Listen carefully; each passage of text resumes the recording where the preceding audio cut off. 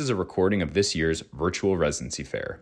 We'd like to take the time to thank the programs that volunteered their time to present to this year's applicants.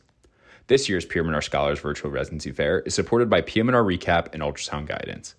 PM&R Recap is the leading resource for your physiatry board preparation, clinical preparation, audition rotations, and beyond.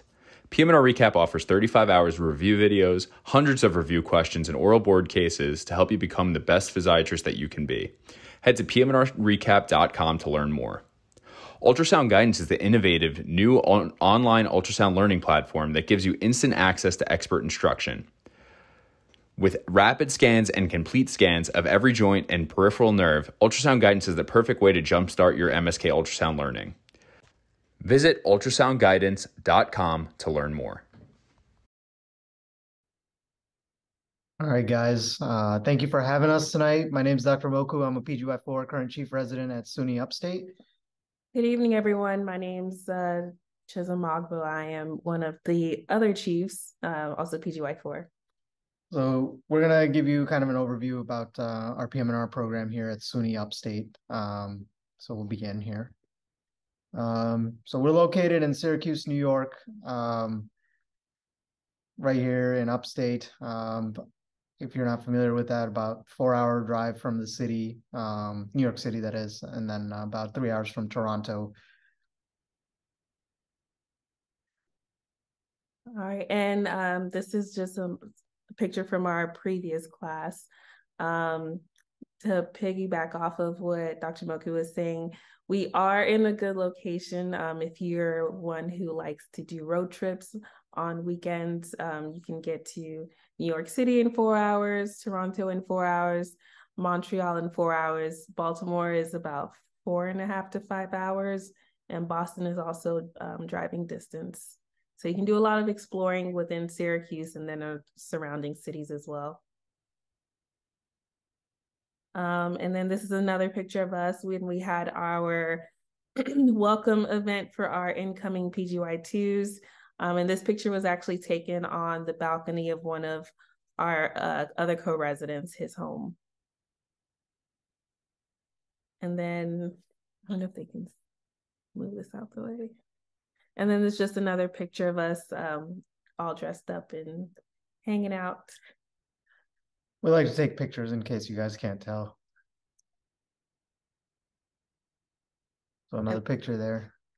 And then, um, so brief history about the program. Uh, it was established in 1989 by uh, Dr. Robert Weber, who continues to be the program director. So I believe he is the longest running continuous program director um, for any physiatry residency across the country. Um, it did start with four faculty members, and now we've expanded um, considerably so with uh, some of our PGY4 residents from last year staying on as faculty as well. So it's a growing department.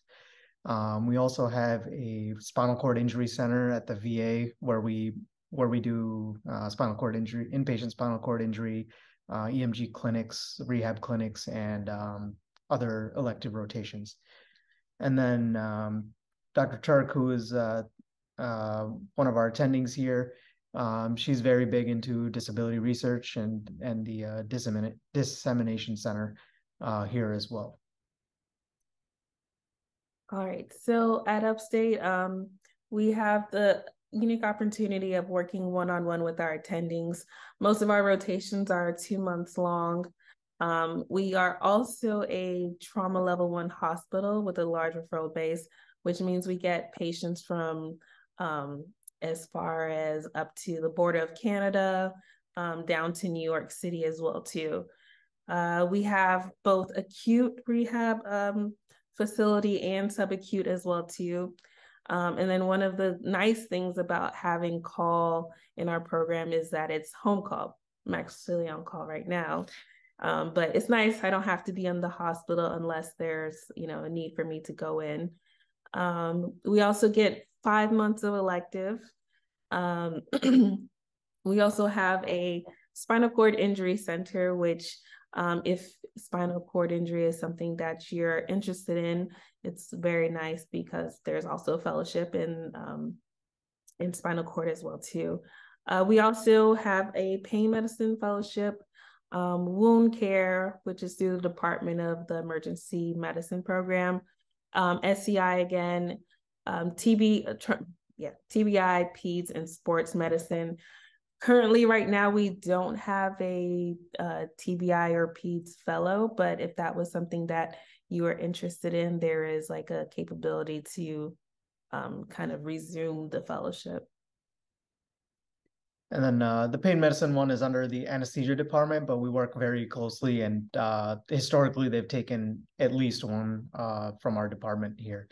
And then sports medicine is essentially brand new, and it will be under the uh, physical medicine and rehab department uh, here in the near future, if that's something you're interested in.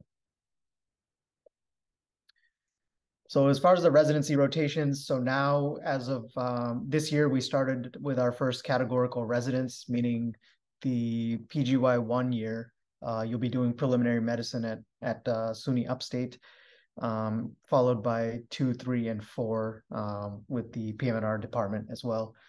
A uh, little bit of the breakdown. PGY two year. Um, one of the advantages we have here um, is that it's not uh, there are there's a nice mix of outpatient and inpatient rotations. It's not all inpatient as uh, as is popular. Um, so there's uh, MSK outpatient, about three months of that. Uh, there's two months of pediatric outpatient rotation. There's um, two months of spinal cord injury and one month of elective, and then two four months of uh, acute inpatient rehab. And then three is as follows. Um, there's uh, you work at a subacute uh, rehab on the brain injury unit. Uh, there's uh, senior inpatient, uh, about two months. You get MSK inpatient or MSK outpatient, sorry, and then um, two months of EMG. There's an interventional pain rotation that's already built in with the anesthesia department. Um, you get two months of consults and then um, two months of elective as well. And then PGY4 uh, is as follows. Um, with VA rehab, EMG, SCI, um, and then uh, SNF level rehab, and then two months of elective. So our different rotation sites, um, we do a lot of our rotations um, on Upstate's campus and the down on the downtown campus. And we also rotate at Bone and Joint, uh, which is one of our MSK outpatient clinics, um, which is about I would say no more than 15 minutes away from downtown campus if you're trying to live closer to the downtown area. Veterans Hospital is adjacent to um, the downtown hospital. Um, we also do have like a, a, couple clinic days at the Institute of Human Performance where I think our brain injury, our concussion clinic, uh, yeah, concussion concussion clinic days are mostly there. Um, and then we at the moment aren't rotating at a community general, but that was one of our sites. Um, and then St. Camillus, which is our subacute rehab facility, where you can also do your brain injury um, rotation as well too. So what are the program perks? Um, I know these are some of the questions that uh, are popular with, um, at least when we started, I had some of these questions as well. So, you know, as far as health insurance, you know, we're uh, state program, so we get New York State health insurance, um, dental, vision. Um, at the VA, there is meal support. Um, you get about eight dollars a day, which is more than uh, you can cover. Um, and then there's vacation flexibility uh, being that there's you know six residents per class, it is a big program. So there's um, um, you you have a little bit of choice uh, with how when you want to take vacation. Uh, maternity paternity leave is uh, very much supported in this program. Uh, we had quite a bit of maternity leave uh, in the prior years, and then we had one of our PGY fours actually take paternity leave as well this past year. So it's um, very flexible uh, in terms of that.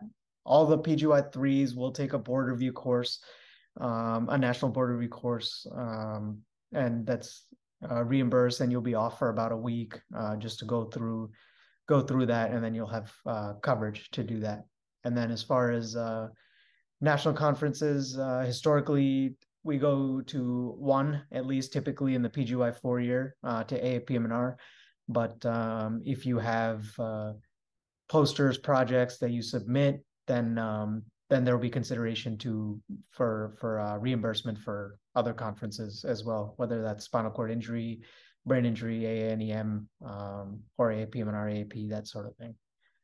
And then listed to the right are the current salaries here uh, at Upstate. It is um, it is very livable here.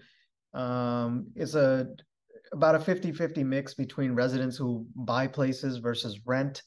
Um, so it's uh, uh, on this salary you have enough left over to you know kind of enjoy after after the rent.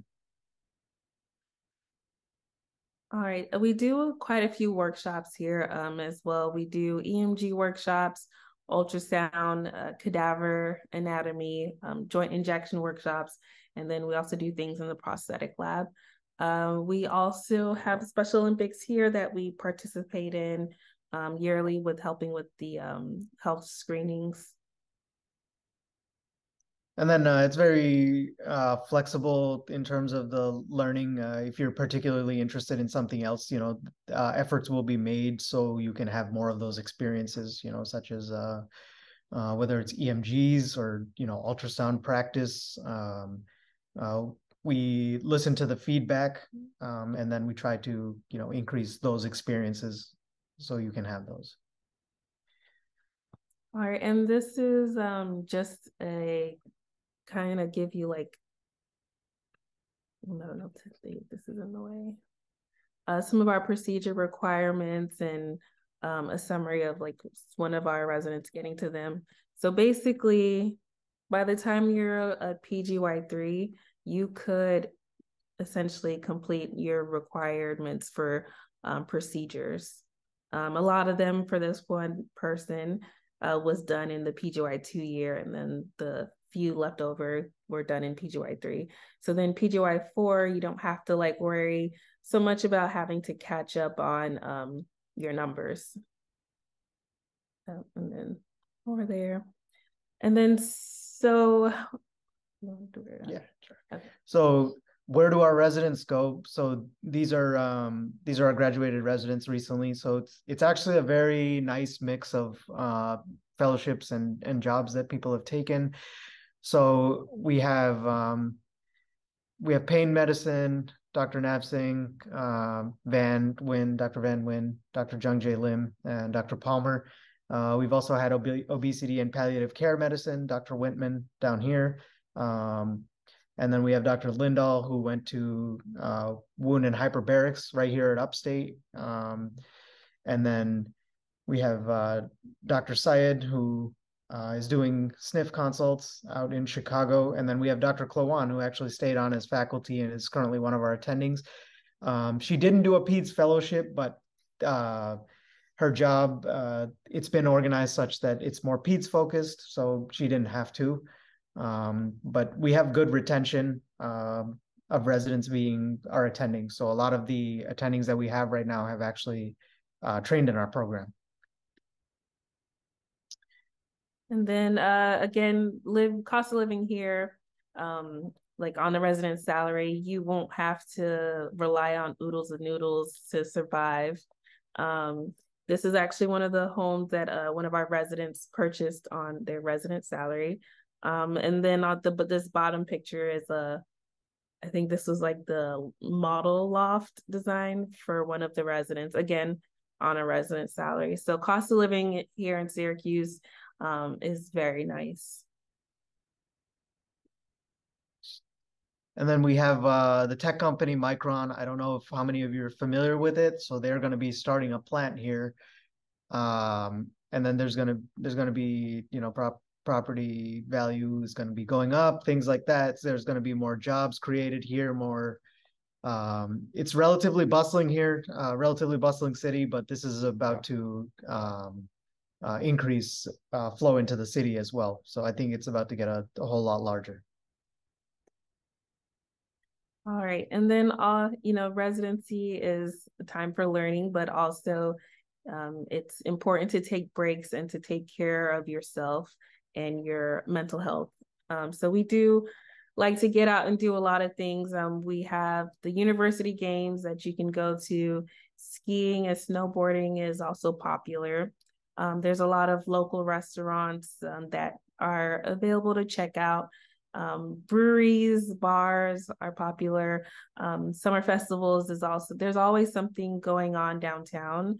Um, like even during the week, there's like some type of festival going on. Um, boating and apple picking are also some popular activities. And then uh, just a picture of what uh, fall time in upstate New York looks like. Very pretty when the leaves start to change. Um, and then more pictures of upstates. And then some pictures of our residents hanging out. Um, we did have this year, um, I think two of our residents were pregnant at the same time. So we had uh, baby showers for them. Um, and then this is a picture of some of the girls in the program hanging out. And then Dr. Klawan um, with her twins. Then, Five minutes. Okay. All right. And I think that's it. Um, yeah. So if any questions, uh, you can reach out. This is the actual email, the mogboc at upstate.edu. And then we have an Instagram, so follow us and send us questions there as well too. All right, I think we're good for questions now.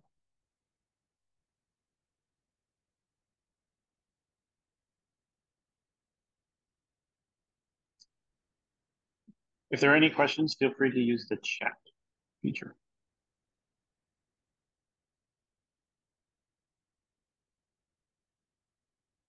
Oh, how brutal are the winters? So I'm actually from Georgia. I did not know what to expect when I moved up here, but I will say I'm a fourth year. I have survived. Um, you know, the first time you're around this of this much snow, it's surprising, but I think if once you get a um, what is it, a snow brush, then you're good. Uh, so let's see. Is it preferred if DO? So to answer Pratik, uh, I did not take um, USMLE. Um, COMLEX was enough. It didn't deter me, and some of our residents uh, previously have done the same. Yeah, I also did not take USMLE. So there, there, there's no bias towards that. So now we're both chiefs. So I don't think it it made a difference. It'll be ultimately your performance while you're here. And then uh, didactics, as of this year, are actually attending led. Uh, we do have uh, student led didactics where we work with an attending to um, uh, create the lecture, so it's more um, more beneficial.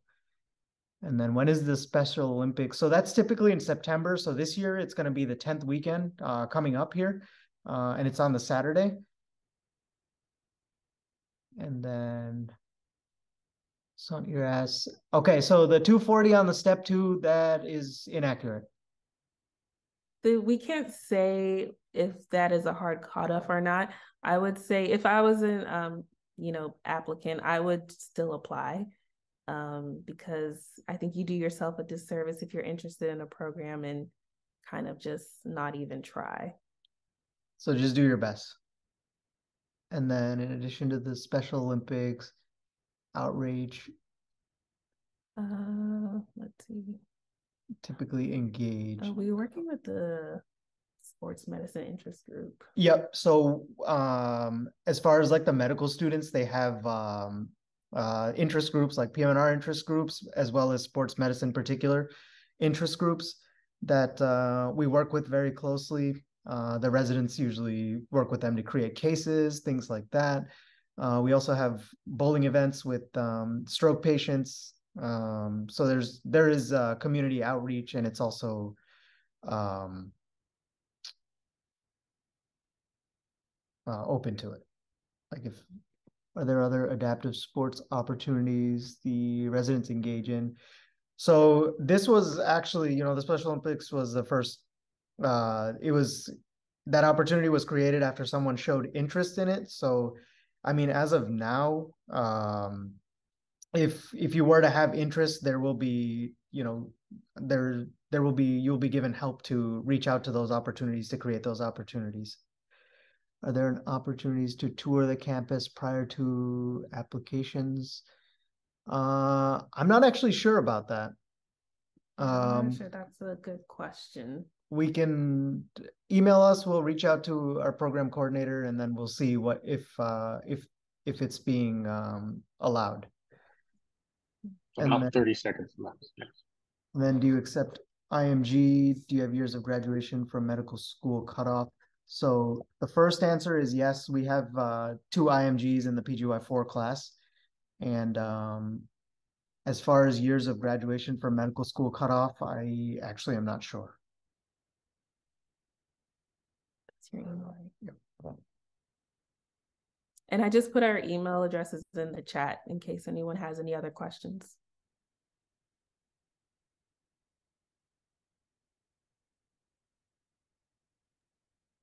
Thank you both so much. We really appreciate your presentation. It was really great.